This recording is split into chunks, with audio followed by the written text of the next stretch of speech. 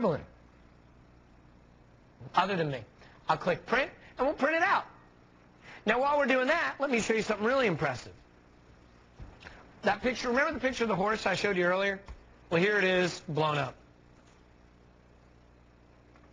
This is a big horse. Order now. You get the camera, you get the printer.